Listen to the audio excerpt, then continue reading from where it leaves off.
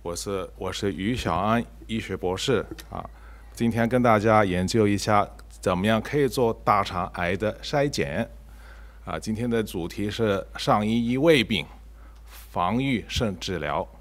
那我们的主办单位是包括包括那个华人健康促进啊计划是在 El Camino Hospital 医院里头，然后呢还有新希望，还有谢谢啊。啊，基督之家第五家的呃呃今天的场地，呃，今天的内容是蛮简单的。首先，我要呃传递一下一些医学的讯息啊，跟大家分享一下我的职业的经验，还有回忆一下几桩历史故事，还有欣赏一下一些旧的电电影海报，还有引用一下的呃一些经典的名言。啊，今天我们是说大肠癌啊。首先，大家可能记得呢，在王家卫的电影《一代宗师》里头，啊，章子怡说到，想说人生无悔，都是赌气的话。人生若无悔的话，那该多无趣啊！那章子怡说到是什么事情会让人家后悔呢？什么会值得我们要后悔？那我们看到呢，一个北宋的名相寇准，他在他的六悔名里头有六种不同的会议，但是到最后呢，他的说到安不将息，病时悔，就是如果你趁着年轻时候没有好好的睡眠，没有好好的休息，没没没有好好的保养自己，那到了病的时候就会觉得很后悔，所以。健康是人生第一财富。人生最大的哀痛是什么？是子养子欲养而亲不在。人生最大的悲剧是什么？是家未富而人先亡，就是人还没有富起来，没有有钱，就人人已经不在了。人生最大的错误是什么？是用健康。去换取身外之物。人生最大的可怜是什么？是弥留时到差不多要走的时候，觉悟到应该做的事情还没有做到。在呃，我们湾区啊，也在全世界，在我们历史里头有很多在消化系统癌症里头英年早逝的例子。比方说，在啊，Bay Area，呃，在我们 Cupertino。我们的苹果教主 Steve Jobs，他在五十六岁因为得到胰腺癌而过世。我们中国的革命先烈孙中山先生因为肝癌过世，享年只有五十八岁。还有一代良臣诸葛亮，因为胃癌过世的时候只有五十三岁。在海峡对岸，在台湾，我们也有一个诸葛亮。但是是大肠癌过世，对不起，其实不是诸葛亮，是诸葛亮，这一个台湾艺人诸葛亮，因为大肠癌在前年七十岁的时候就过世了。那在我们湾区，在所有的华人当中，每一年每十万个男生当中就有大概五十二个患有大肠癌，在每十万个华裔女性当中就有四十二个。每年啊，发现有大肠癌。那既然大肠癌是那么可怕的话，我们有什么好的方法去对付呢？我们啊，可以呃参考一下在春秋战国时代一些的先贤，看他们怎么样去用中医的理论去对付癌症，特别是大肠癌。呃，这个可能你记得，好几年以前有个叫做《战国》的电影，里头有孙膑，有庞涓，中间还有一个叫做梁惠王，是魏国当时魏国的君主。原来除了孟子以外，还有一个名医叫做扁鹊的，不远千里而来，来到魏国啊，当时候的呃开封去拜见梁惠王。那梁惠王一看见扁鹊，就说了：“守，意思说老人家，据我所知道呢，你家里包括你自己有兄弟三人，都是做医生的。你们三兄弟当中，谁的医术是最高明呢？那扁鹊呢？他自己是排名第三的，是家里是最小的。他就跟梁惠王说：“我家里三兄弟当中呢，我的老大的医术是最好的，接着是老二，而我的医术呢是最差劲的。”那那个梁惠王听了就有一点不以为意，他就说：“阿扁，你在开我玩笑玩玩笑？为什么你的名声是最响的呢？”我还听说前几天你还在抨击那个姓韩的的人。那那个梁惠王这样一问呢，就把一个经典的故事叫做“良医治胃病”把它带出来了。原来阿扁的老大是治胃病的，他是很会观察病病人的气色，等到病人还没有生病以前，还没有发病以前。已经把他把他的病情治好了，结果那个病人治好以后呢，都不知道自己有生过病，而且呢，他的元气是无损的。结果呢，老大的名气是怎么样？是难以认可，中中医医生都是默默无名。那老二是怎么样呢？老二是治轻病，等到病人刚刚发病时候。好像一点那个伤风咳嗽，他就把病人治好了。结果呢，病人呢是马上复原过来，而且呢，他的元气只有一点一点点的受伤而已。那老二的名气是什么呢？是一个治小病的大夫，他只会治疗那个伤风感冒而已。那扁鹊就很厉害了，他的成名的秘诀是什么？他是会。治重病，他开始的时候，病人开始有病的时候，他都不治疗。他等到病人已经病入膏肓，到了奄奄一息的时候，他就猛下狼虎之药，以毒攻毒。我们用现代人的话语叫做 chemotherapy 化疗。结果呢，一到那个病人是元气大伤，但是到后来还是会啊，不啊不能够痊愈。所以扁鹊就变得是天下名医了。那我们怎么样运用阿扁一家三三个三兄弟的医学医医学，怎么样去活学活用对付大肠癌？首先，我们要知道什么叫做大肠，什么叫做大肠癌。那我们要知道呢，大肠其实是消化系统最低的部位。它有分开结肠，还有直肠。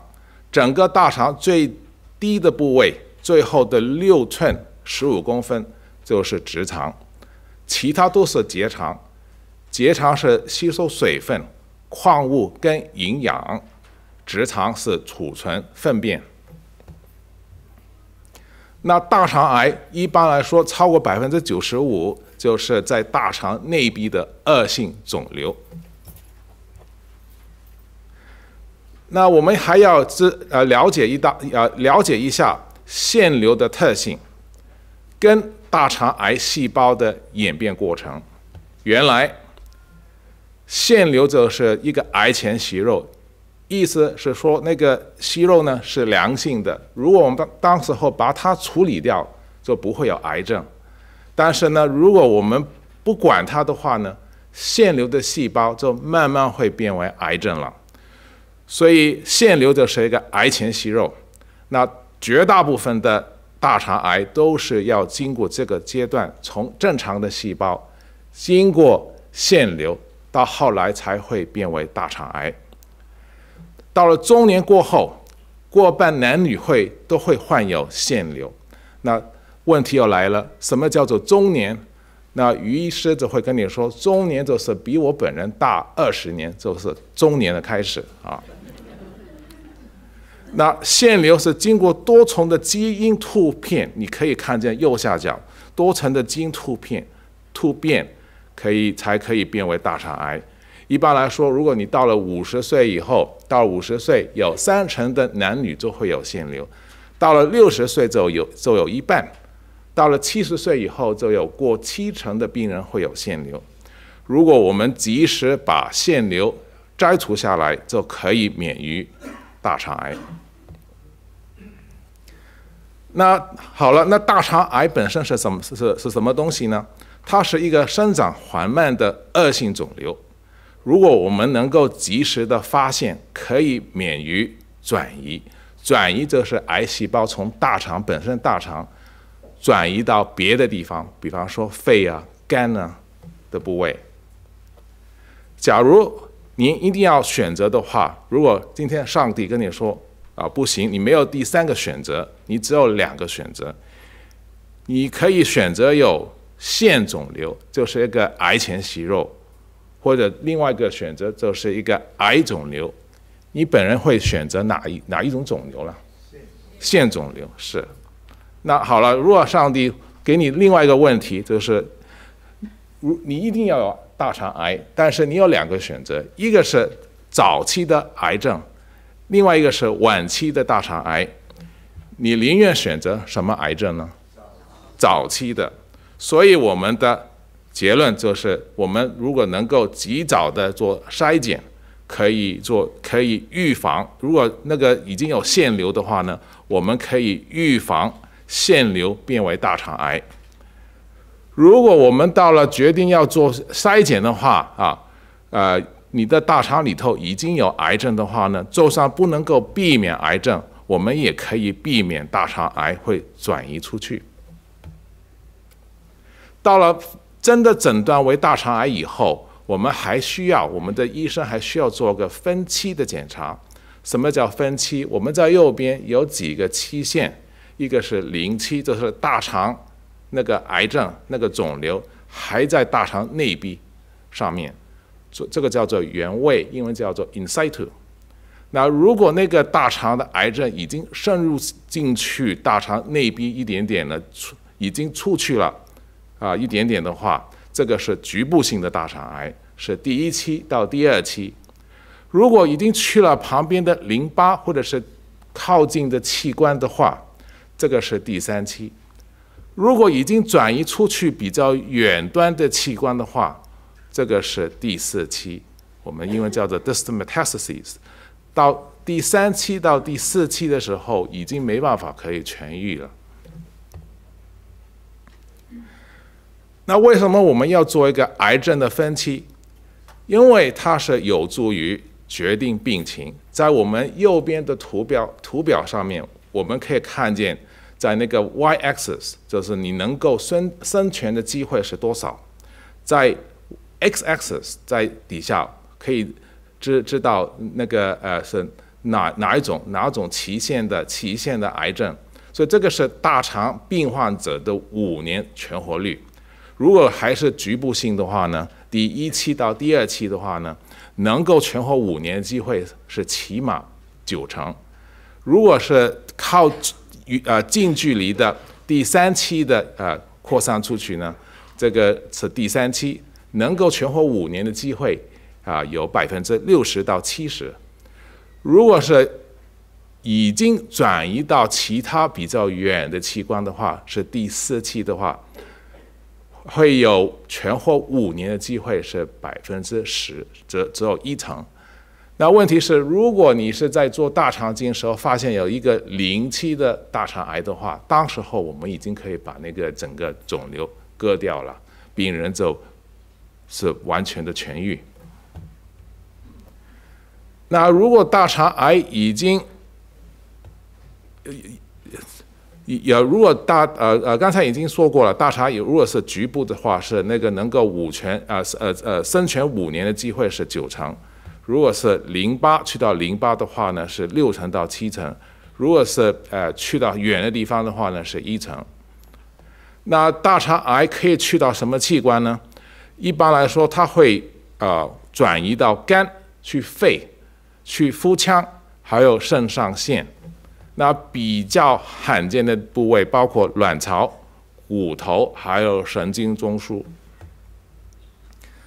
其实呢，大肠镜呢是最理想的大肠癌诊断方法。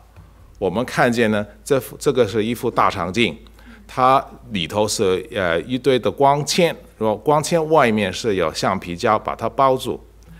然后我们如果把这个大肠镜啊伸展到大肠里头，首先大肠里头是黑黑黑漆漆的一片，我们进去以后我们什么都看不见的。所以在大肠镜的呃那个尖端的地方有一盏灯，我们进去以后一开灯，就把整个大肠亮起来了。而且呢，在那个大肠镜里头有几个渠道，其中的渠道是容许我们把一些其他的器具生长出出去，去到大肠里头。在最左下角的是一个叫做啊啊那个叫做 snare，就是那个铁环。那个铁环可以让我们把息肉给勾住，把它割掉。在中间有一个叫做镊子，是 biopsy forceps，可以让我们把呃做一些切片检查。如果我们发现有一个大的肿瘤或者是一片发炎的话，我们也可以做一些切片检查。然后那个呃做大肠镜的操作员，一个医生，他一边在做大肠镜时候，当时候 real time。在大肠里头看见了什么东西，可以同同一时间经过光纤把那个讯息、把那个呃影像给传递到那个荧光幕上面。所以大家要搞清楚啊，我们今天是说大肠镜啊，不是大肠经啊。那正常的病人，这个是正常病人的大肠啊镜的检查，我们首先要进到直肠。然后经过不同的部位，可以跟大家啊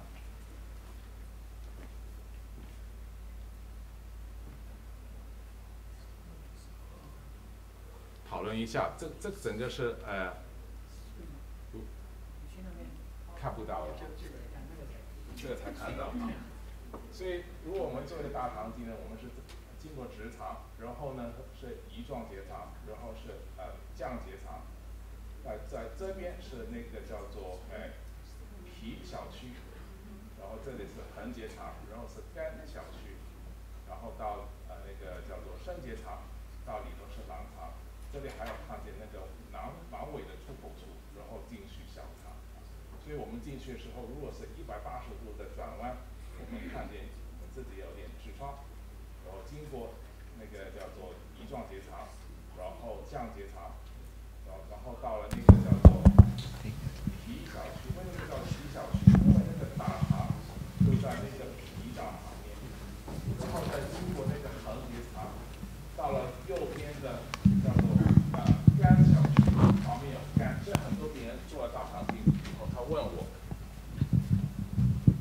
很多病人问我做了大肠镜以后，就问我，哎，于啊啊到呃那个 Doctor You。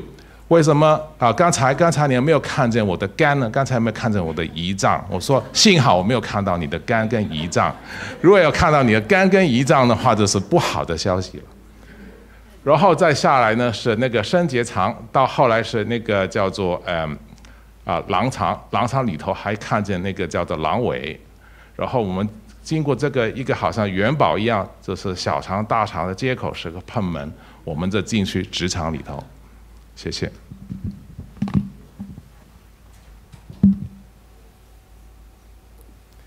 那好了，如果我们运用那个老大治病的哲学，我们可以用一个大肠镜，要用一副大肠镜做筛检。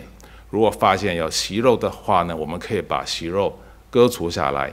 因为当你发现有息肉时候呢，还不算严格来说还不算是一个癌症。所以这幅这一幅图片就显现出来有一个大的肿瘤，一个小的，对，应该是个小的息肉。那个小的息肉是好像一个草莓一样。然后呢，我们用个铁环，铁环把那个草莓套住。套住以后呢，我们一边把那个铁环收紧，把那个呃息肉割掉下来。因为息肉里头有个血管，如果我们把它一拉下来的时候呢，病人可能会有出血的危险性。但是呢，这个铁环一边我们在过电，过电以后就帮病人止血，所以到后来整个息肉都给割了下来，所以这个是老大啊治病的那个道理。那老二是怎么样呢？等到病人刚刚开始有癌病，刚刚有轻病、刚刚有轻癌时候，发现已经有个癌肿瘤，在这个阶段呢，已经不能够用大肠镜去解决了，病人则必须要去开刀了。那阿扁是怎么样呢？它是治重病，它是猛下 chemotherapy 狼虎之药，还有一些那个了解的啊那个缓解的疗法。那如果病人已经发生有大肠癌的话，常见的征兆是什么呢？这里有四大类，第一类是便血，你的便血的情况是似乎你出在出血的地方是在什在什么地方？如果那个出血的地方是比较接近小肠的话呢，你会看见有黑色的血液；如果那个肿瘤是比较接近啊那个直肠的地方，比较接近肛门口的地方呢，你的血液是红色的。如果那个肿瘤是慢慢的出血的话呢，也许你没办法可以啊感觉到有出血啊，到后来发现有贫血时候再做到做再做一个大肠镜才会发现到。那第二大类的征兆是什么？是大便习惯改变，有一些病人是常常会有便秘，有些人是常常会有拉肚子，也有一些人常常是呃。一阵子拉肚子，一阵子便秘。那我跟大家解释一下，好像这个是个很大的肿瘤，它差不多把那个整个大肠给堵塞住了。然后，如果你的粪便是比较液体一样的话，比较是水便的话呢，它比较轻易的过去，通过去啊，给排出来。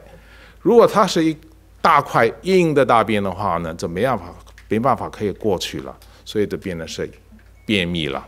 所以这种情况也可以解释到为什么偶尔会有啊泻肚子，偶尔会有嗯便秘。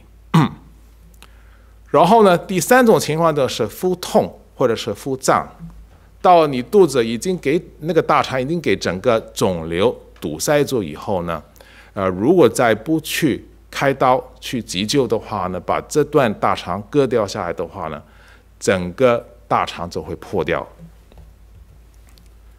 还有其他第四类是其他的征兆，包括疲倦、虚弱，还有体重下降。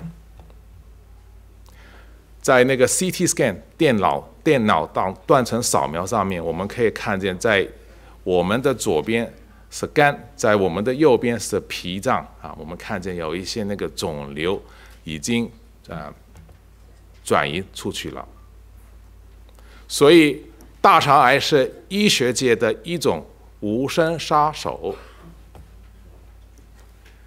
在美国，我们最近在两年以前啊，二零一七年三月，我们有个研究是说到大肠癌是有一个年轻化的趋向啊。我们看到从两千年到两千十四年时候，如果我们看到那个如果是呃男呃一般男女如果是超过五十岁以后。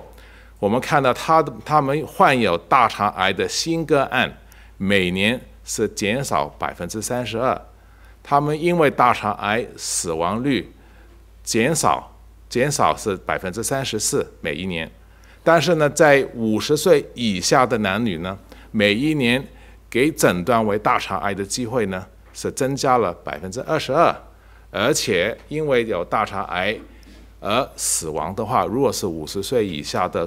例子呢是每一年增加百分之十三。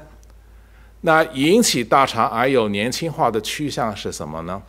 有一些可能发生的危险因素是包括身体过过重、缺乏运动、经常的吃红肉，还有少吃少吃纤维。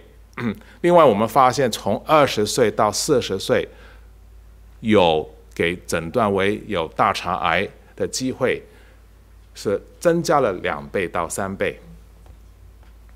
那在二零一七年年底的时候，在法国，他们公公他他他他们发表了一篇文章，上面是说到大肠腺瘤跟腺癌有年轻化的趋向。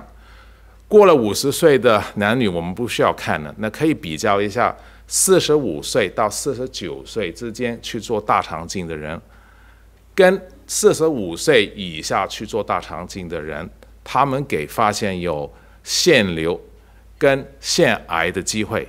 我们会发现呢，如果你过了四十五岁以后，从四十五到四十九岁中间，你会发现有做大肠镜时候发现有腺瘤的机会呢，是比在四十五岁以下的男女是增加了一倍。如果你是四十五到四十九岁当中会发现有大肠癌的机会呢，是比四十五岁以下的人的机会是增加了四倍。所以大肠腺瘤跟大肠癌的发发病率在四十五岁以后是突然的飙升。那我们在以扁家艺术呃哲哲学活学活用，我们怎么样应用于大肠癌？我们首先那个阿扁他他的三兄弟有三个方法去治疗去对付大肠癌，最好方法是肠镜筛检，发现有癌前息肉的话呢，把息肉割掉下来。那第二个方法是中侧，它是一个开刀做。切除啊，早期的大肠癌，最不好方法呢是等到癌症已经从腺瘤变得早期，再从早期癌症变得晚期癌症的时候，用化疗。后来到了唐代的孙思邈，他在他的《备急千金药方》里面有说到，上医医未病，就是最好的医学方法，就是病情还没有发生以前就把它治好。中医医预病，就是病情已经到了开始了，或者是刚刚开始的时候，才去治疗病人。下医医已病，就是病情已经已经发生了，已经发展开来了，我们才去治疗病人。总而言之，还没有病以前，我们要先防；差不多要发病的时候呢，我们要防着变化。已经。发发生有病情的话，已经有病了，已经有病症的话呢，我们要早点治疗，早点求医。所以，我们今天的主题是上医医未病，防御胜治疗。我们可以从三个角度去看这个问题：第一，是从一个医药措施方面，医药措施方面，在医药方面跟措施方面，我们有筛检。我们有疫苗，还有我们用疗药，在做在大肠癌方面，我们可以及早的做筛检。那在 B 型肝炎，因为我们大家知道，呢 B 型肝炎是最容易引起肝癌的啊，在全世界一半的肝癌都是 B 型肝炎引起。我们可以及早跟病人，病人一出生，男女一出生的时候，马上跟他们做疫苗的注射。在胃癌方面，我们可以提早的发现啊，检查发现有没有幽门螺旋杆菌。如果有幽门螺旋杆菌的话呢，我们可以跟病人开一个疗程的抗生素，把细菌杀掉。所以我们在医药方面啊，呃，在筛检、在疫苗跟疗药方面，可以兼顾到不同的。肠胃科的癌症包括大肠癌，包括胃癌，还有包括肝癌。在在个人方面，我们啊也有一些需要改变的平日生活的习惯跟保健。我们应该注重自己的饮食、自己的生活心境，还有个人的生活压力。在公众卫生方面，我们要保持一个比较好的、比较健康的环境，包括治疗一些污染、化学啊，防防防御那个化学跟辐射。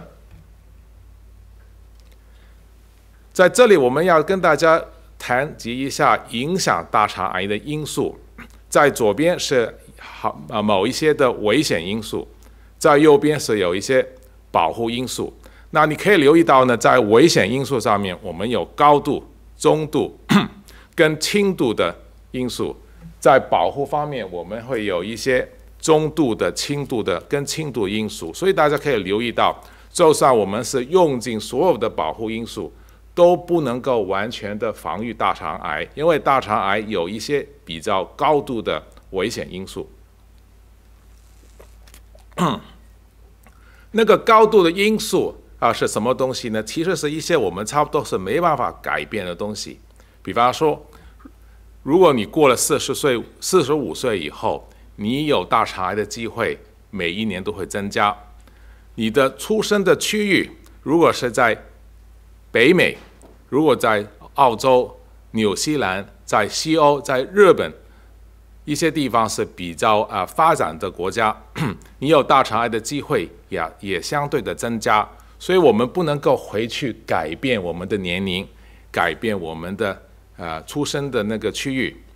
如果你家里有那个癌症的综合症的话，也不能够去改变。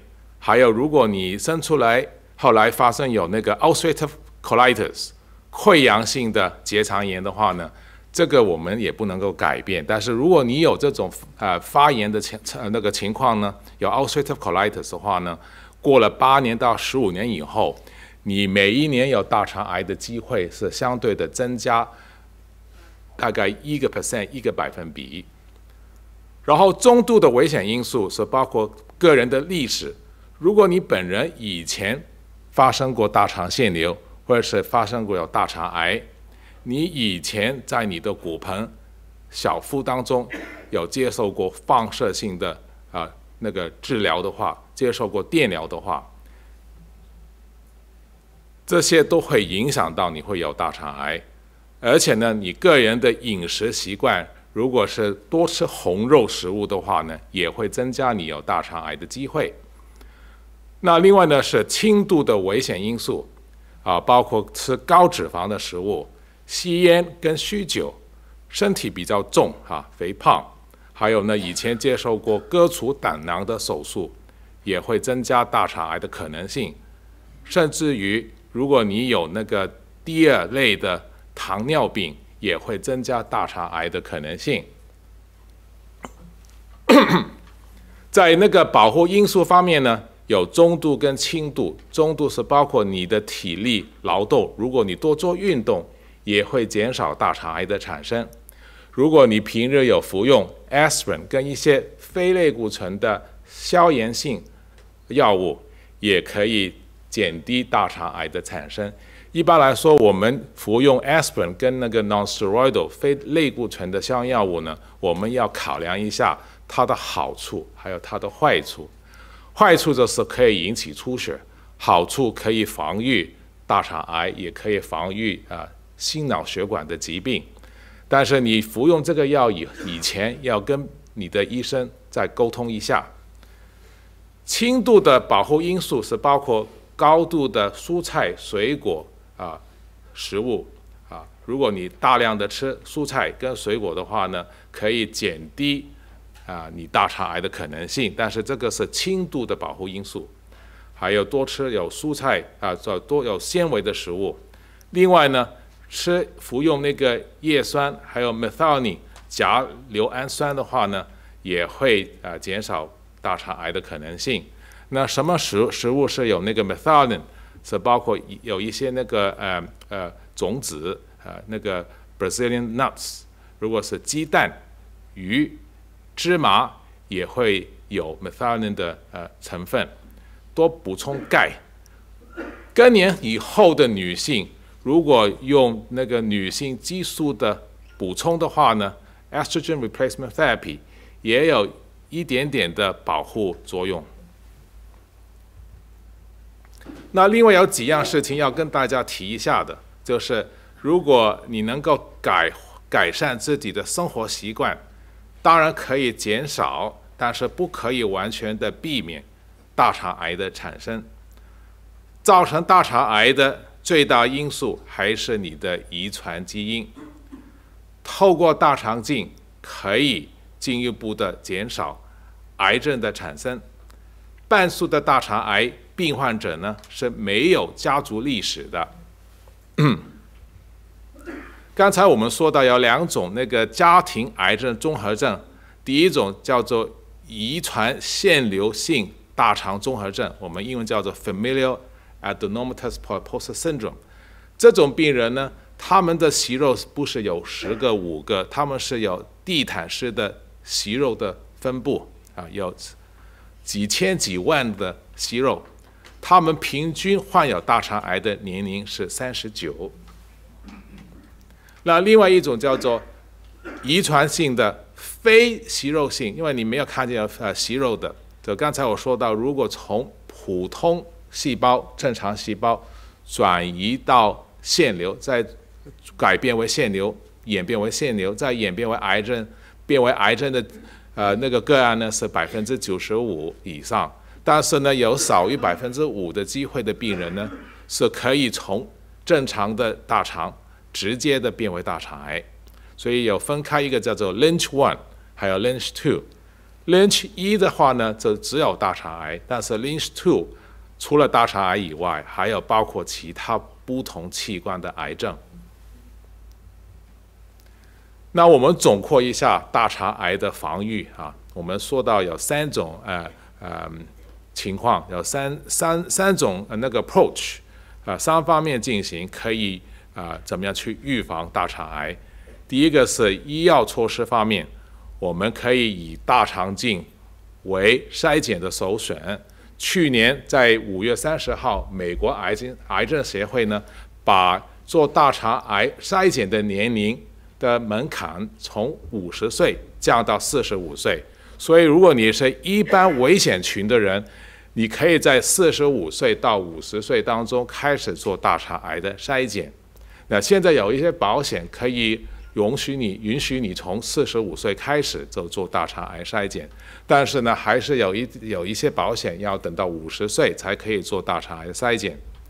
那如果你是属于高危险群的人呢，需要做大肠癌筛检的方法的那个那个时那个年龄要提早。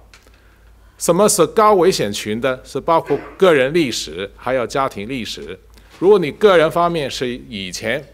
发生过大肠腺瘤，或者是以前有过大肠癌，或者是以前一直以来都有慢性的结肠炎的话呢，也许你需要提早的做啊筛检，而且呢，这种筛检只有限于大肠镜而已。如果你有家族历史的话，比方说你家里有一些比较啊后期的大肠腺瘤，或者是你父母兄弟姐妹有大肠癌的话，你也需要提早的做大肠镜筛检，比方说，如果你的姐姐是在三十岁时候已经发生过，已经给诊断为大肠癌的话，如果你等到四十五岁、五十岁时候才做一个大肠癌筛检的话，已经太晚了。如果你姐姐是三三十岁发生发发现有大肠癌的话呢，你本人要比她还要早十年做一个大肠癌筛检，所以你要到二十岁就要做个大肠镜。刚才提到有一些那个癌病的综合症，一般来说要到已经从二十岁、二十一岁开始到成年以后，就要开始每一年到两年要做一次大肠镜。那另外说到，如果你是有一些癌病的综合症，或者是你真的有很严重的家庭历史的话，你可以每天服用一颗那个 aspen 但是要先跟你的家庭医生啊谈一下。在第二大项，生活保健方面，你要多吃高纤维的食物，比方水果、蔬菜。你要限制自己的红肉，不要太吃太多红肉，包括羊肉、猪肉跟牛肉。要减少吃高脂肪类的食物。每天要保呃要补充钙，要吃维生素 D。每个礼拜起码做五天的运动。啊，每一天做三十分钟的运动，要戒烟。如果你是吸烟的话，一定要戒烟，不要喝太多的酒，不要酗酒，要控制自己的体重。在环境保护方面，要治疗治疗呃那个空气还有其他化学跟辐射的污染。那在二零一五年以前。的时候有一个报告是从那个世界卫生组织有个报告说到，如果是一些加工过的肉类，我们是可以确定它是会致癌的。什么叫做加工过的肉类？是包括香肠、腌肉、火腿跟冷切肉。如果你每天吃五十个 gram 五十克的加工过的肉类，你可以增加大肠癌的风险是百分之十八，差不多有两成。那什么叫做五十 gram 的加工过的肉类呢？比方说是一条香肠，或者是四块腌肉。那在红肉方面呢，他们没有说是确定会致癌，但是很大机会，很有可能会致癌，是包括牛肉、猪肉跟羊肉。如果你呃吃红肉的话呢，可以增加以下癌症的危险性。包括大肠癌、胰腺癌跟前列腺癌。这里下面是有与烟草有关系的癌病，包括如果你有吸烟的话呢，以下的器官的癌症都是有风险的，包括口腔、喉管、消化器官，包括食道、胃部、胃癌、胰腺癌、肝癌、大肠癌。还有会影响到肺部，也会有肺癌，一些泌尿器器官，包括肾癌、膀胱癌、子宫颈癌，还有前列腺癌，还有也会影响到骨髓，发生有一些急性的血癌 （acute myelogenous leukemia）。所以在生活态度，我们要保持的那个态度是：勿以恶小而为之，勿以善小而不为。那美国癌症协会的准则是关于一般普通风险程度的男女，在四十五岁以后应该有什么的筛检选择？在左边是筛检，就是还没有癌病以前就做筛检；右边是检查，就是把癌症，就是已经有了癌症了，把癌症找出来。所以筛检 （screening）。它的不同的那个选择是包括每十年做一次大肠镜。另外呢，如果你没办法可以做大肠镜，在一个地方是没供应你大肠镜的话，可以每五年做一个 flexible sigmoidoscopy，啊，我们叫做乙状结肠镜，或者是每五年做一个 barium enema，我们叫做背肌灌肠摄影。另外一个选择是每五年做个虚拟性的大肠镜，我们英文叫做 virtual colonoscopy。那在右边有以下三种不同的方法做一个大肠癌的检查，就是已经有了大肠癌，我们才可以去检查。一个是普通的潜血检查，是每一年；另外一个是一个比较高档一点的、比较先进一点的免疫性的化学粪便检查。但一般来说，如果你是发现有血液、有潜血在粪便里头，很多时候都不是癌症引起的，可能是痔疮引起的。另外一方面呢，如果是癌症的话呢，很多时候呢，那个潜血检查都不一定是阳性的。那另外呢，也可以考虑做一个大肠癌基因每三年的检查。啊，你可以呃，在这种情况下呢，是等到大肠癌已经演变到。相当大小的时候，有一些细胞脱落下来了。你在收集粪便的过程当中，可以收集到一些不正常的细胞。但是我相信到这个是呃，到到到到到了这个到了这这个时候呢，那个息肉已经那个癌症已经相当会比较大了。所以大肠镜，我们还是说大肠镜是那个筛检的首选。啊，尤其是如果那个病人是一个属于那个高风险群众的，或者是其他筛检方法发现是阳性的，如果你做一个乙状的结肠镜，或者是一个背肌的灌肠摄影，或者是做个虚拟大肠镜，或者是做一些粪便检查，如果是不正常的话呢，还需要做一个大肠镜来追踪一下。那我们再说一下。一个乙状的结肠镜，我们简称它为直肠镜。这个直肠镜能够检查到的地方，就是用一个绿色的线来代表。所以我们那个绿色的线从肛门口进去，只只可以看到整个大肠的三分之一。那大肠镜所以可可以看到看到的地方是绿色的线加黄色的线，这个是一个大肠镜，可以看到整个大肠。所以绿色的线就是那个直肠镜，只可以检查到三分之一的大肠。但是它的那个效果也不也不坏，它可以发现到六成的大肠癌，在右边产生的大肠癌，在那个狼肠，啊，那个呃升结肠，在那个横结肠产生的大肠癌是没办法可以发现的。我们可以说直肠镜或者是乙状结肠镜是一个不完整的大肠镜。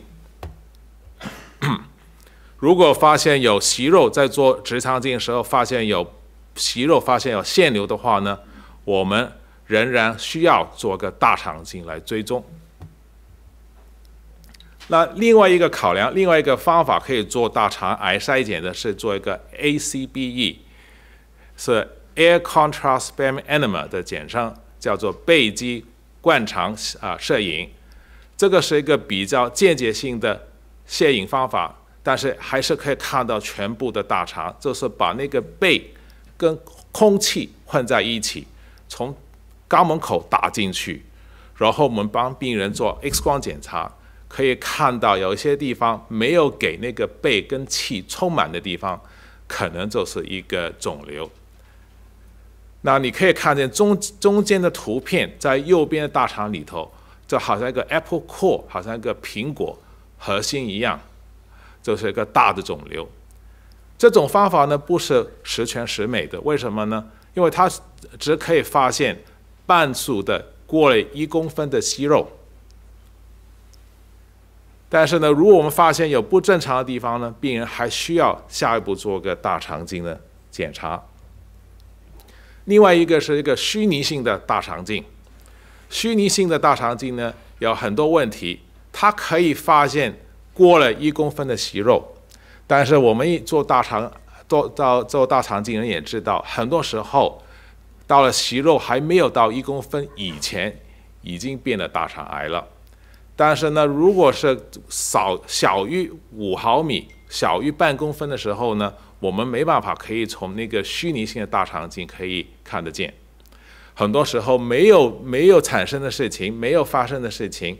它可以无中生有，比方说有颗大便在那个大肠里头，可能是给误以为是大肠癌。偶尔呢，我们在做，因为是个 CT scan，是个电脑断层扫描，做 CT scan，我们不只看到大肠里头发生什么事情，也许在肝里头有个良性的血管肿瘤，我们也会看得见，可能把病人吓一跳，呀，还是需要进一步做其他种种不同的检查。它也有附带一些辐射的隐忧啊，每做一个虚拟性的大肠癌，可以引起以后每做一颗虚拟性大肠镜，可以引起癌症的机会，因为辐射引起癌症的机会呢是百分之零点四四。万一我们做大肠那个虚拟性大肠镜的时候，发现有什么不妥当的话呢？还是需要做一个普通的大肠镜来追踪。那另外说到那个粪便的基因检查，你可以留意到呢，就如果是发现有大肠癌，如果是有大肠癌病有大肠癌的话呢，能够发现的机会是用这个基因检查是超过九成。但是呢，那个如果那个腺瘤还没有变成大肠癌，只是一个后期的腺瘤的话呢？能够从这个基因检查发现那个后期的良性的腺瘤，机会是四成。如果是早期到中期的腺瘤，用这个粪便检查能够发现腺瘤的机会呢，只有一成半。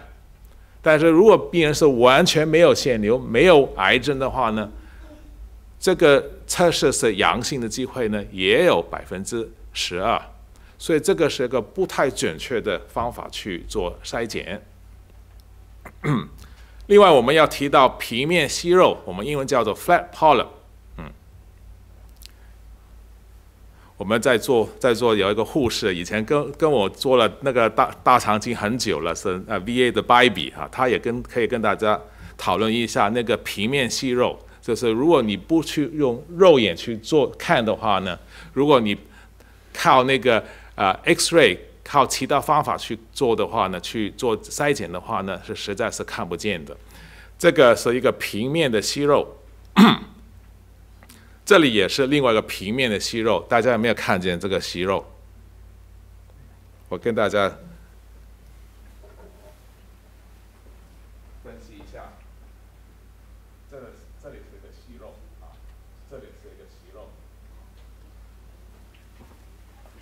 这里是息肉，这里是个息肉哈，然后底下还有一个，这个是差不多没办法可以看得见的了，嗯，然后呢，还有这这这一个息肉，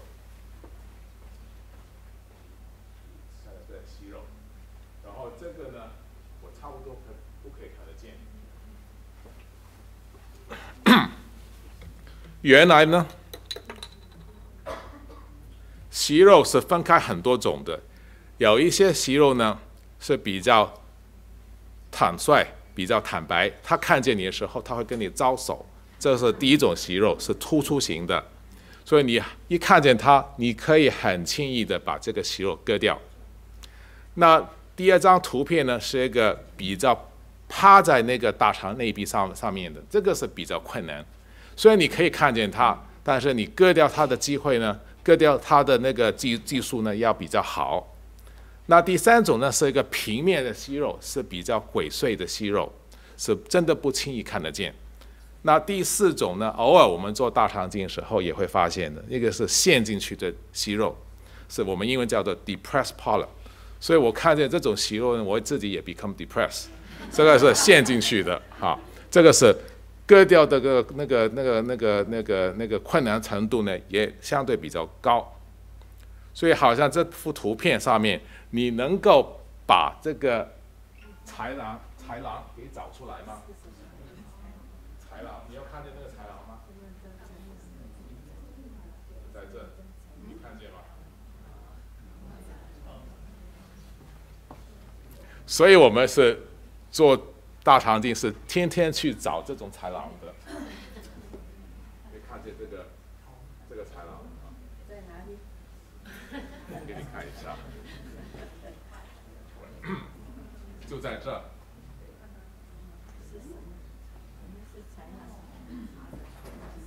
哦，豺狼。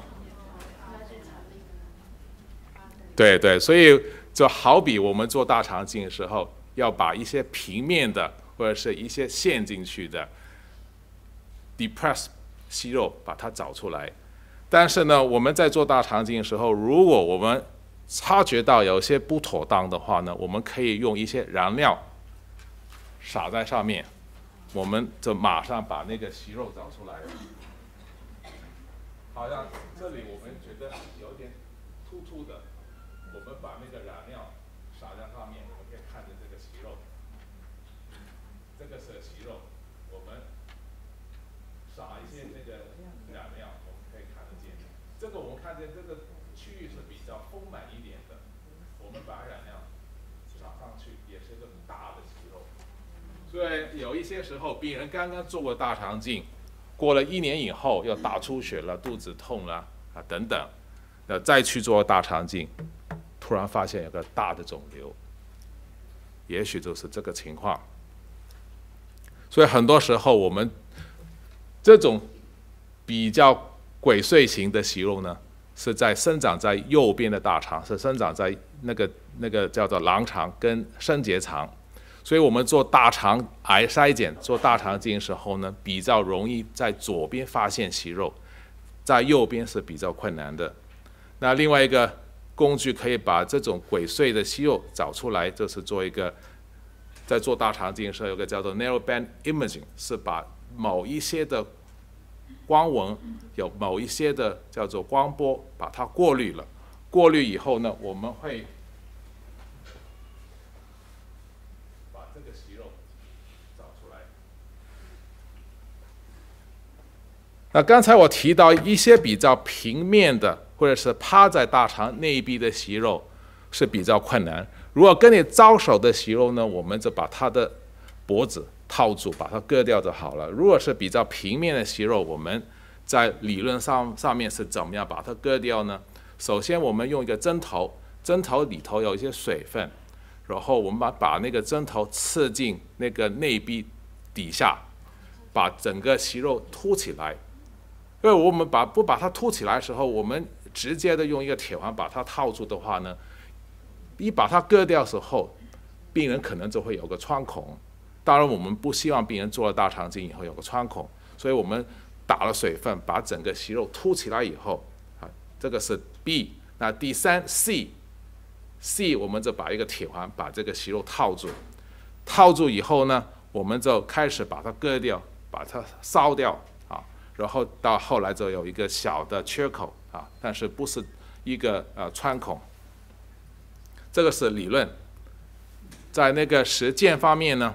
我们还是看见一个息肉，我们打了针把它割掉，割掉以后到最后，我们用一些夹子把这个伤口夹夹起来，就好像那个呃手术师在缝针一样，把这个伤口缝起来。但是呢，大肠镜呢也不是十全十美的。在技术上呢，有还是有些问题，因为呢，我们还是需要那个呃肠胃科的医生，他们有相对比较好的检查的技术，他们有好的技巧，然后呢，那个息肉我们一定要可能可以看见的，有一些息肉是比较困难，看起来是比较困困难的，如果是特别平面的，你真的不能够把这这这这个息肉找出来。那个息肉身处的位置也是很重要的。如果那个息肉是生长在盲肠里头，我们就没办法可以看见了。如果息肉在肛门口边，也有困难把它找出来。另外呢，你可以留意到呢，我们割息肉呢是有两种方法，一个是冷切的，一个是热切的。如果是冷切的话呢，我们没办法可以完全切除的那个机会是两成。如果是热切的话呢，也许。不能够把整个大肠、把整个息肉割掉，机会是有一成的机会。所以我们割掉息肉以后，还要留意一下周围还有没有一些剩余的那个不正常的细胞，还有病人也也也要帮忙要把大肠洗干净。那个肿瘤演变的速度也不一定，有一些是很快，有一些是很慢。如果是一些传统性的息肉，大概是六七成，这种病人呢，他们从正常的细胞经过腺瘤到后来变大肠癌，机会是十年、十五年哈。但是呢，有一些病人呢，他的基因有啊叫做 microsatellite instability gene，他们那个基因是比较不稳定的，他们可以从正常的细胞。经过腺瘤，再经过癌症、癌肿瘤的那个时间只有一年到两年，还有另外有少于百分之五机的机会，有一些病人刚才也说过了，就是他们的啊，他们变癌呢是不需要完全不需要经过腺瘤的，是直接会变大肠癌。所以如果你碰到这一类病人的话呢，是比较困难。那我有很多病人呢，都是从台湾来的，因为他们常常都不知道我姓于，他们常常叫叫以为我姓尤，所以呢，很多时候呢，他们有问我一些问题，呃，有些病人叫我叫做尤一苏，你看，啊，对，有有有一书，他们有一次呢，有个病人就这样问我了，他说，啊，尤一书啊。我身体，我一向身体都很健康，从来都没有没有什么大大呃，没有什么大病，小病也没有，最多是伤风感冒而已。我一向都是奉公守法的，我每天都吃素，而且呢，我是乐善好施啊，我每天每个礼拜都去教会啊。家里没人得过癌症，我还需要做大肠癌筛检吗？所以尤医书就说了。当然需要，绝无例外。上帝会保佑你的大肠镜会顺利的进行。那另外呢，又有另外一个人去找尤医书了哈。他就说到，有一些国家大肠镜是有两种的，如果你是过老板的话呢，你的麻醉是免费的；如果你是员工级的话呢，是分开有两种，一个是另外收费的，是无痛的；没有另外收费是有痛的。所以最低消费是有痛的，付费的麻醉是无痛的。那您提供的大肠镜有什么安排呢？我要跟他说，在美国啊，美国是讲究人权国家，起码在我们美国国内是讲究人权的。在美国，一般的大肠镜都是免费麻醉，啊，我们不加费用的。倘若您要做有痛的大肠镜，你需要自己找，你看。那另外有些病人就问我了，他说：“哎，有一说，如果我付不起筛检费用是怎么办呢？”我们可以问一下他，他说：“如果你能够到飞机场，最好还是海到海关走一趟，为什么呢？他们将会给你一套免费的。”全身的 X 光跟乳房检查，如果你自称是恐怖分子的话呢，他们还还会提供你一副免费的大肠镜。啊，所以说那么多了，呃，我今天其实你呃在上半场如果睡着也无无所谓的，最要紧就是这以下的三张的 slides，啊，我们跟大家说一下。你记得美国的大肠癌筛检是三二一，三是代表什么？大肠癌是第三最常诊断的癌症，每年有十四万宗的新个案，平均每小时就有十十六宗的新个案。所以我今天我演讲大概是一个半到两个小时，所以我这一两个小时以内已经大概有三十宗新的个案。每人一生中患有大肠癌的风险是百分之六，五十岁以上的男女有三分之一还没有接受过筛检的，这个是三，所以呃，大肠癌是第三种最常诊断的癌症。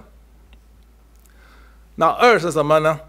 二是代表大肠癌是第二种最普遍的，第二最普遍的。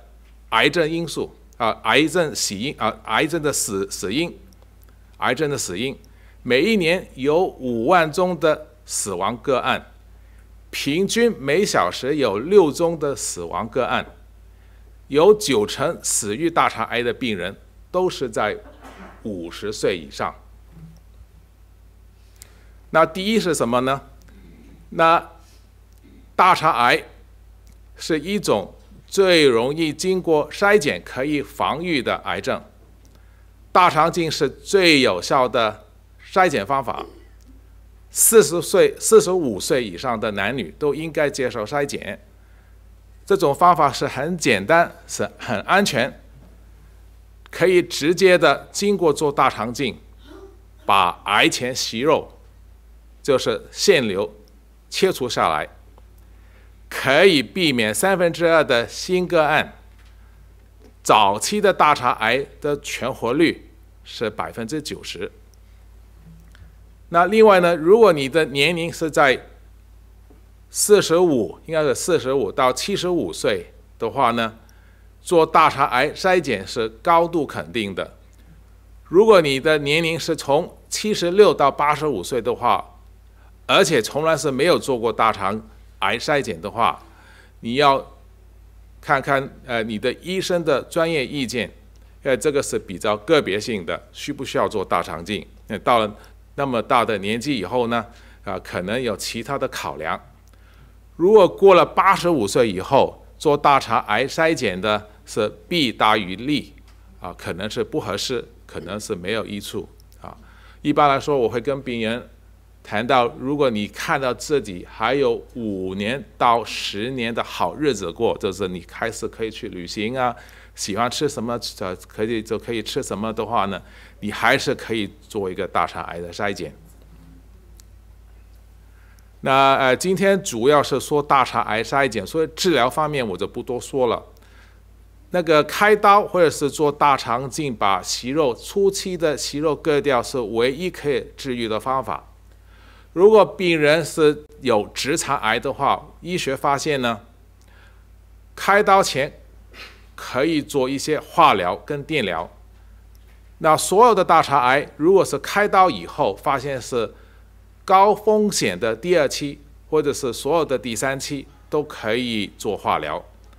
那另外呢，化疗是分开有三种，一种是传统的化疗，第二种是标靶治疗，第三种是免疫性的治疗 （immunotherapy）。呃，之前我也跟大家提到，心理状态。也可以导致癌症。我们可以跟大家举一个胃癌的例子，好，所以这个不是大肠癌，这个是胃癌的例子。我曾经看过一本书，那个是一个日本人写的书，叫做土桥重隆，啊，是一个日本的医科博士，他是一个开刀是一个外科的医生，他所有的病人都是有胃癌的，然后他跟着他的病人开了刀以后，他很多时候他都。花一点时间跟他们聊聊天，结果呢是发现呢，一般有胃癌的病人呢，都有一个很普遍的性格。这种病人呢是工作超标，是过度的劳累，对事情是特别认真，而且是努力不懈的。他有个结论就是，病人如果得过且过的话，患有胃癌的机会是不容易。所以我们建建议大家呢是得过且过，人生好过。事实上呢，在我们信经里头也说到，喜乐的心乃是良药。所以身体健康是关性、关键性的影响到人生的成功。那人生的成功是什么秘诀呢？呃，坐下很多人。都是比我成功，但是我这里有个提议，我的提议呢是人生五行，这是成功的关键。什么叫做人生五行？是是金木水火土呢？不是，这个是人生五行代表成功要诀。第一行就自己要行，你自己不行的话呢，就没办法可以成功。那第二呢，这是有人说你行，所以要有欣赏你的人。那说你行的人一定要得行，对不对啊？然后呢，很多时候不行也得行，人家说没办法可以做做做到的，你就说没办法啊，也可以，我我可以做。那除了这个以外呢，还是健康要行。我记得刚刚开始的时候呢，今天刚开始的时候，我跟大家说到那个阿扁啊，阿扁呢，呃，去了魏国看那个梁惠王，后来最近又去了台湾，那到后来呢，他就去回到他的家乡，他家乡在什么地方？是在齐国，这个是春，那个是战国时代的齐国啊，所以在春秋五霸我们有个齐桓公，但是在了那个到了那个。战国时代呢，已经不是那个叫做姜齐了，是一个田齐的国家。我们有看见有个叫做齐桓公武，所以他看见一进大门口，看见那个齐桓公武的话，他吓了一跳。他说：“大王，你有病！”那大王很紧张，很很生气，说：“你才有病，我怎么会有病呢？”他说：“第一天，他说我看见你的病情已经到了你的皮肤肌肉。”那个齐桓公武就转头过来跟他的随从说：“啊，那些那些大大夫都是好名好利的。他说我有病，然后他把我治好以后呢，他自己就很变得很有名了。那后来那个阿扁就走了，又过了五天，他又再回来看那个齐桓公武。他一进门口，他又看见大王，你的病情要治疗了，因为你的病情已经到了你的血脉里头了。”那齐桓公武也没有理会他。那再过五天，阿扁又回来了，他又跟大王说：“你的病情已经到了肠胃里头了。”那个那个齐桓公武还没有理会他，然后阿扁到了第十六天，他一进门口，他话都不说，他马上就走了。那齐桓公武很奇怪，他马上叫他的随从，你快一点跑过去问他究竟发生什么事情。那个后来那个随从找到那个呃阿扁，他问问他究究竟是发生什么事情？他说：“哎，现在那个大王的病情已经到了骨髓了，已经无药可可可无药可治了。我我不走的话，我自己会野祸上身。”所以到后来那个齐桓公武则病发身亡了。所以这个故事是什么呢？是如果是讳疾忌医。是可以耽误我们自己的病情。如果一发现自己，如果你就算从来没有做过筛检，一发现自己有一点不妥当，最近这食欲比较低了，体重会下降了，体力不好了，大便有出血的话，要尽尽快的去求医。那这个月三月是美国癌症大肠癌的警觉月，这个是三月 Colon Cancer Awareness Month。到了五月时候呢，我们还有一个 Hepatitis Awareness Month。为什么美国癌症协会要提到肝癌呢？要肝提到肝炎呢？因为一半数的半数的肝癌都是因为 B 型肝炎引起的，在全世界一半的肝癌都是 B 型肝引起，在美国一半的肝癌是 C 型肝炎引起。那到了十一月是比较忙。因为是两个癌症的警觉月，一个是胃癌，另外一个是胰腺癌。嗯，还有刚开始的时候呢，我们是怎么开始的？是那个嗯，一代宗师开始的嘛。那章子怡在里头也说到，世界所有的相遇都是久别重逢。我在最好的时候碰见你是我的运气，可惜我现在没时间了。谢谢大家。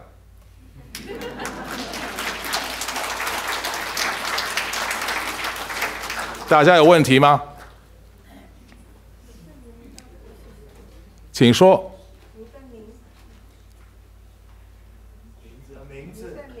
我的名字啊，有一书。于于小安。请问，请问你？于是于国华的于，或者是于正生的于。小是大小的小。可以把你的那个 slide 第一张。哦，是第一张。怎么样？去到第一个 slide。怎么样？show 第一个 slide。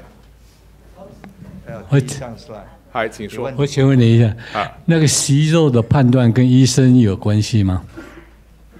你可以看到息肉就是息肉嘛，你看不到息肉就是息肉啊，就没有息肉。跟医生的判断所以息肉一般来说，息肉就是有一块纤维，跟旁边的纤维不太一样的，啊，然后你就靠自己的经验，靠那个那个 scope 那个大肠镜的里头的那个设备。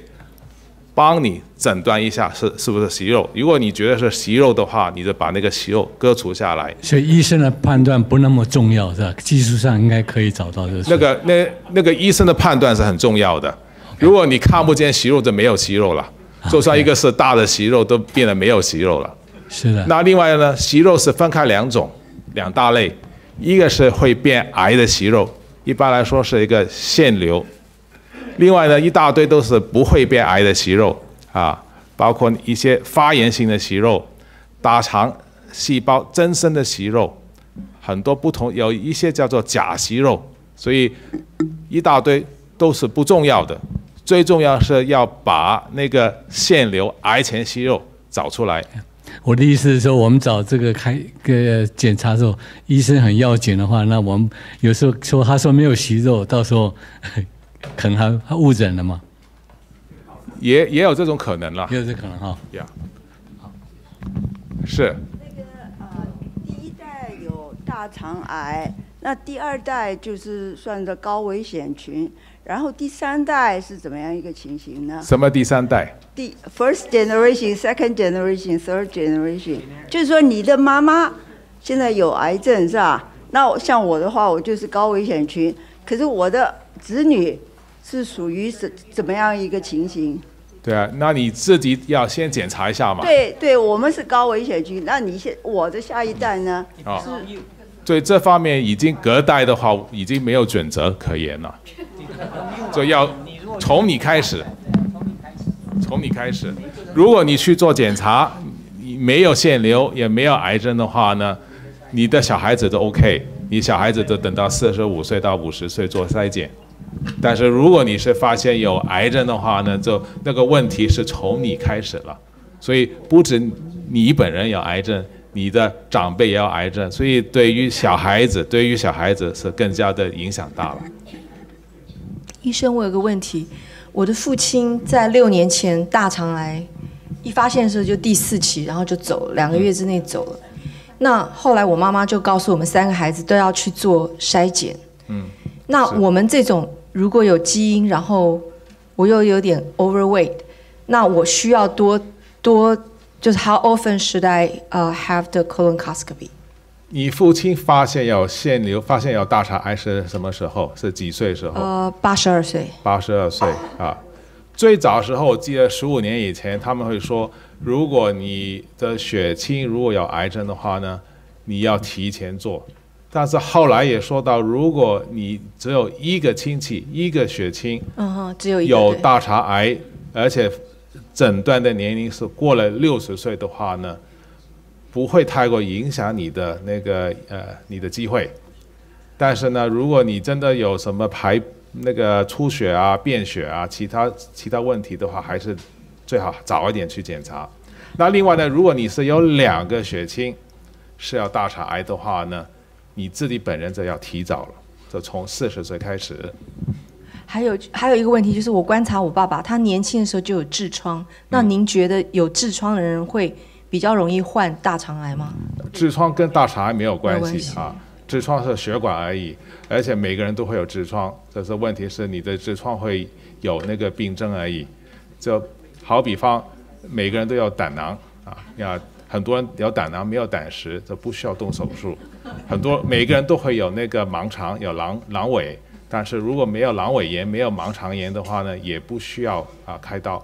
好我第三个问题也许会 benefit everyone，就是我爸爸他当初会晚发现，就是因为他以前有个老朋友，他去做 colonoscopy 的时候肠肠子被刺穿了，嗯所以他的朋友就装了一个人工肛门，嗯然后我爸爸知道以后，就从此就不去做 colonoscopy，那是为什么他没有做？是，呃，最后十五年都没有做，所以一发现的时候就已经末期了。所以你的建议是说，如果我们很不幸像他的老老朋友那样子的话，就是这个几率有多少被刺穿的几率？几率是蛮低的。我记得好像开始做过一个 research，就是在可能是一千到两千个病人当中有一个是有这个问题。呃，我想问一个问题，就是你刚才提到那个慢性结肠炎，呃，那个呃患癌的这个可能性也蛮大的。那如果要是这个以前患过，那后来现在已经好了，还会有这样的危险吗？还是有这个危险，还还还是有的。如果你是你的慢性结肠炎只有影响到直肠的话呢，是没有风险的。如果是只限于左边的大肠的话呢，过了十五年以后，每一年到两年要做次大肠镜。如果是超过左边去到右边的话呢，是从第八年开始，每一年到两年做一次大肠镜。因为过了八年以后，每一年有大肠癌的机会会相对增加百分之一。那个有人哦，那个肠很长怎么办啊？会不会？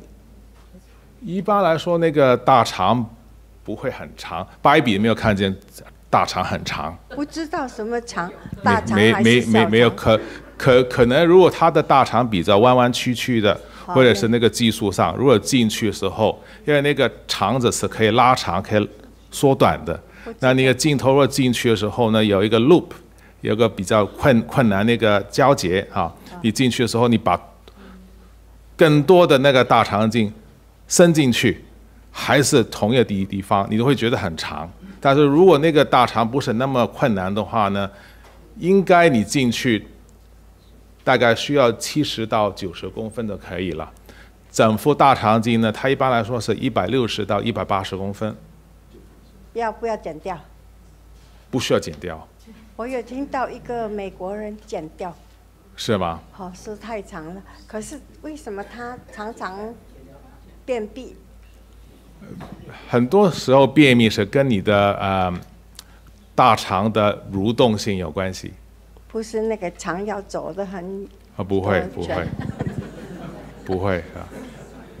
OK，那那个没没事情啊，那个没有事情啊，是我一个朋友呀呀。不应该是问题吧？多多吃蔬菜水果，他每每天起码喝一杯呃纤维素，啊，呃要多走路，因为走路可以刺激到肠胃的蠕动。每天要喝八杯水，呃，于医生，请问一下，听说有四种 tumor，每种 tumor 变成那个肠炎的时间不太一样，能麻烦你解释一下？就四种 tumor，呃，腺体，那腺体它有有些腺体变肠炎比较快，有些变比较慢。对对，一般来说，呃，那个腺瘤呢是普通的腺瘤啊，一个是有毛性的腺瘤，那个有毛性的腺瘤是比较不好的，比较变得快的。然后呢，有一种叫做 tubular，是管状型的腺瘤，这个是比较变得慢的。所以，如果你有一颗到两颗的管状型腺瘤的话呢，只需要五年以后再做次大肠镜。但是呢，如果你是有那个有毛性的 villus adenoma 的话呢，无论有多少呢，就算只只有一颗的话呢，就三年以后再做次大肠镜。有一些是个 hybrid，是两个合起来的，是 tubular v i l l u s 又有那个管状型的，上面你那个化验师也看到那个有毛型的，这个是也是三年以后再做次大大肠镜。我们最近呢看见有一些叫做 sessile serrated adenoma。sessile serrated ad 啊、sessile serrated adenoma，就是那个叫做无把柄 sessile serrated 锯齿类的腺瘤，就在那个 pathologist 化验室看到那个 sessile serrated adenoma 的话呢，这个是比较平的，这好像刚才我给你几幅图片，四幅还是六幅图片上面看着很平的，在右边大肠，这种息肉呢，越鬼祟的息肉呢，它越变癌的机会是越越越大。越变癌的速度也有越也越快，所以这种息肉是特别要留意的。可能你这次看不见，下次已经变了癌症。那请问一下，那个您您您讲的那个刚才有说大肠有病变的话，有拉肚子或者是便秘。好，那如果每天这个上大号的时间不规则，这种跟这个职场有没有关系？也有也也许也有关系，但是也有可能是因为你的有功能性的肠胃毛病。好，谢谢。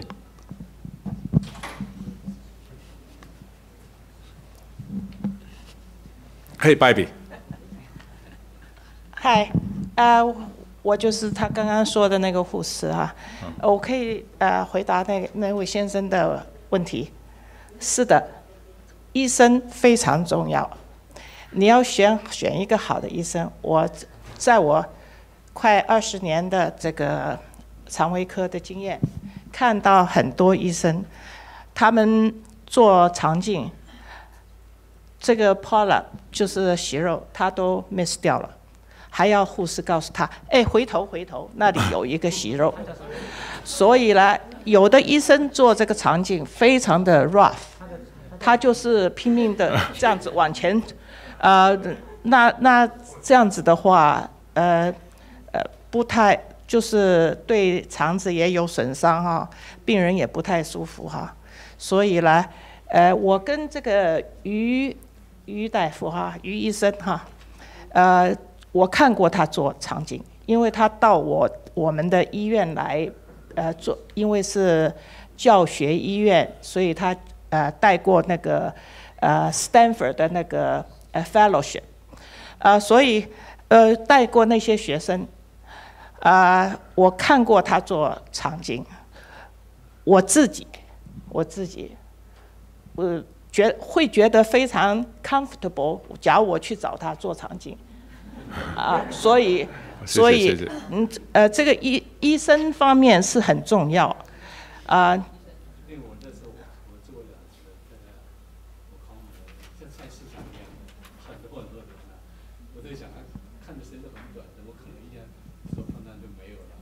啊，是是，所以呃，你要找一个医生，就是呃很有耐心的，呃，不要太粗鲁的。呃，那这个你不会，你不会知道，只有只有在那边帮忙的医师护士才可以看得见。嗯、然后这个呃自己有很很好的眼光，就是有的时候很难判断这个是是不是一个息肉。所以这些都很要紧的。所以我我在这里 highly recommend 这个鱼于小安医生。好，时间关系哈，最后最后一个问题，谢谢外比最后一个问题，